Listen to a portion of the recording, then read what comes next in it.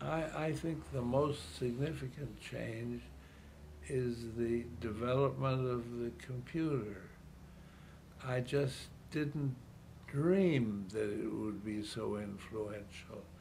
I remember at the beginning, there was, the, the neighbors of ours wor- worked on computers, and they were big rooms where you had maybe hundreds of individual cells.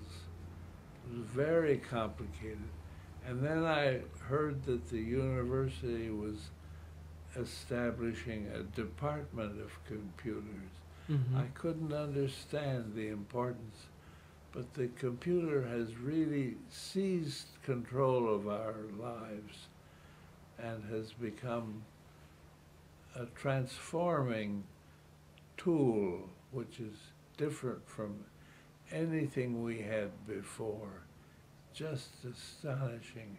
It permits results which we never dreamed of. I Mhm. remember toward the beginning of the development of the computer, the uh, John Hancock building was being erected.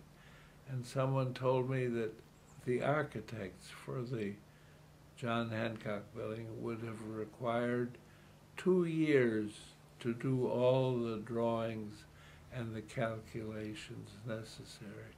But thanks to the computers, they were able to complete them in two months.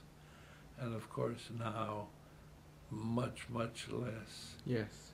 Just, I, I think it's the most transforming element of the of the century I've lived in.